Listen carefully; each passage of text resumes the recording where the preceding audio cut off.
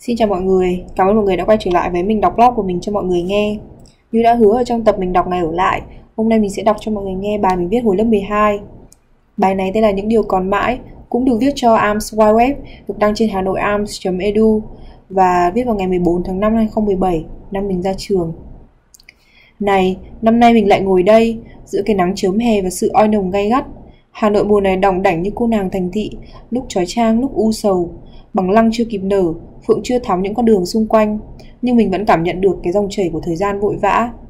Những ngày này năm ngoái, mình cũng ngồi ngay khán đài sân bóng này, ngắm nhìn những buổi chiều muộn vàng cả một vùng cỏ. Tiếng nhạc đầy nhớ nhung trên cảnh lung linh từ những ngày thanh xuân cuối cùng của các anh chị 1316 làm cho tâm trạng người không còn vui vẻ nữa. Mình đã từng nghĩ làm sao để lấy lại quá khứ, một quá khứ tươi đẹp, một quá khứ khi 14 17 chúng mình là những em nhỏ lớp 10 ngây ngô và non dại. Cứ một mùa đếm ngược đến và đi, mình tiến gần hơn ra cổng, Cánh cổng sắt xám xịt với biển chữ vàng long lanh, ngăn cách giữa thế giới bình yên của Arms với cuộc sống đầy toan tính ngoài kia. Cứ thêm một thế hệ mang chữ cựu ở đằng trước thì lại càng gần hơn đến ngày mình xa Arms. Mùa hè cuối Arms thay áo mới, cái áo vàng của những ngôi trường mẫu mực của thủ đô. May thay vàng không hợp cam lắm nên cái trắng tinh khôi được giữ lại. Nhưng cũng vì thế mà những mẩu chữ mình từng viết góc lớp ngày nào đã mất đi. 19 tháng 8 năm 2014, lần đầu tiên mình ở Arms Bar, Orientation sao mà lạc lõng. 14 tháng 10 năm 2014, lớp 10 tệ quá, giá mà mình có thể biến mất khỏi đây. Những ký ức hồi đầu lớp 10 của sự cô độc và choáng ngợp bởi ARMS ùa về mỗi khi tay mình lướt qua những bức tường giờ đã mới. Mình và có lẽ bao nhiêu người khác cũng thế, đã từng sợ ARMS, sợ cái xã hội thu nhỏ, nơi nhịp sống nhanh vội và tất cả các cá thể xung quanh đều xuất chúng, sợ những tiết chuyên đề dài lê thê, kết thúc lúc 4 giờ 30, mỗi chiều, đứa nào cũng uể oải, lên ta sảnh giữa cái tiết đầu đông xe lạnh tháng 12, tặng cho máy bán nước tự động một chút tiền để lấy kit cát trà xanh. Mình lê la ở Arms đến chiều muộn. Arms lung linh như một vùng cổ tích. Am Thuận vẫn luôn đẹp những ngày ngày hội anh tài cuối với sự cố gắng hết mình cho một tuổi trẻ bùng cháy, những tiếng nhạc tài năng khối chuyên xen với màu sơn của trại như lần cuối nhiệt huyết trong chặng đường học sinh. Khối khác với những câu lạc bộ, những ban tổ chức ngày hội anh tài, English Performance hay France Comedies, khác cả những ngày AGT tranh nhau mua vé prom và súng dính áo quần giữa ngày đông lạnh giá. Khối là một quần thể, tạp nham và yêu thương, bởi khi ta đi hết Green Hà Nội Amsterdam, Puzzle, Arms Wide Web, Arms Media hay Arms Advisor, Bookler, HAGV hay là HAT, Glee và hơn 40 tổ chức khác thì cuối cùng cũng sẽ trở về bên màu áo khối đầy tự hào những tiếng kéo loa xoẹt qua sảnh tổng duyệt, những câu dặn dò trước khi lên diễn, sự gào thét khẩu hiệu và tiếng hò reo chiến thắng. Nếu có gì độc nhất của ARMS, ARMS tiên phong và ARMS phát triển là niềm tự tôn mang tên Ngày hội anh tài. Hết ngày hội anh tài cuối, chỉ còn lại cánh cổng đại học trước mặt. Con đường đầy trông gai ấy dù dẫn đến những mảnh đất xa xôi hay chỉ là ngã ba chùa láng thì vẫn là cả một tương lai và hy vọng. Trong một thoáng, mình quên mất hiện tại để đặt mọi cố gắng vào những ước mơ, lo lắng, áp lực, ngừng mặt lên đã thấy đếm ngược ở sảnh A. Này, đã bao giờ cậu ước mình nhớ hết những người bước qua đời cậu, đã chót dành những tình thương và bao cảm xúc giận hờn đau khổ cho cậu?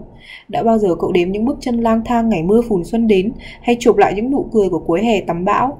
Đã bao giờ cậu tự hỏi cậu đã làm gì để mọi người, dù mệt mỏi, dù căng thẳng với tất cả những câu chuyện vụn vặt thời áo trắng, vẫn nhớ về cậu mỗi khi chia xa? Mỗi khi cất cánh bay đi những phương trời, tại sao chúng mình vẫn tự hào vì đã từng gặp cậu?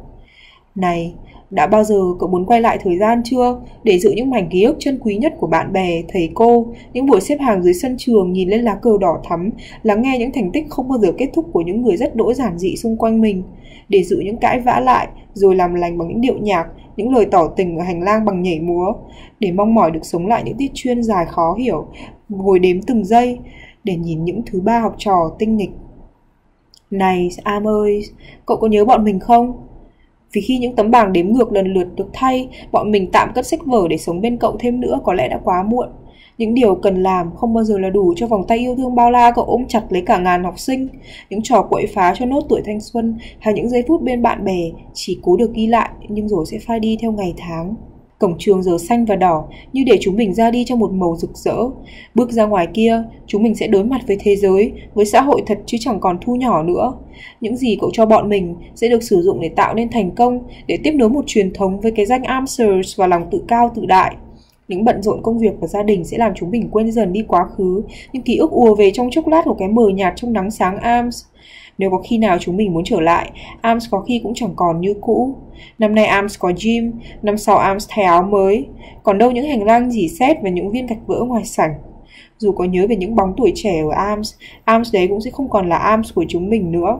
Chúng mình có lẽ sẽ lại lạc lõng như một đứa trẻ lớp 10.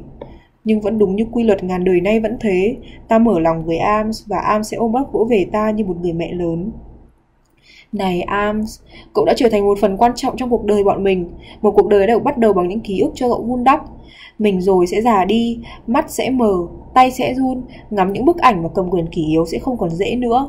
Nhưng dù trí nhớ tức thời biến mất Thì vẫn còn đây những bóng hình lơ thơ của một thời vùng vẫy Đầu đội trời, chân đạp đất Học hỏi và yêu thương bên cậu. Nếu tuổi thanh xuân là lý do chính đáng nhất cho ta bước tiếp thì cảm ơn Arms vì đã là trạm A khởi đầu cho những chuyến tàu 1417 đi xa. Mình đã từng đọc bài này không biết bao nhiêu lần, đọc đi đọc lại và khóc rất nhiều. Bài này là mình viết để gửi cho Arms và cái cái cái nhân vật cậu ở trong này nó là Arms ý. Mà khi mà mình đọc cái bài này hồi mà mình mới ra trường, mình đã kiểu không thể tin được là mình đã ra trường và mình không thể tin được là mình đã viết cái bài này trước khi ra trường tại vì cái cảm xúc đấy nó chân thật quá, nó giống nhau quá. Mình cảm giác được cái cảm giác ra trường từ những cái ngày đầu tiên của lớp 12 cho đến những ngày cuối cùng, cho đến tận cái lúc mình đọc lại đấy. Thậm chí đến bây giờ, mình vẫn không thể tin được là mình đã ra trường. Mình rất là yêu Arms những gì mình viết cho Arms là không đủ. Mình chỉ biết là mình rất yêu Arms thôi. Cảm ơn mọi người đã lắng nghe. Hôm nay đến đây là hết rồi ngắn nhở không dài lắm đúng không? Có vẻ à, những gì mình viết trên blog dài hơn là mình viết ở trên Arms Wire But still, cảm ơn mọi người đã lắng nghe.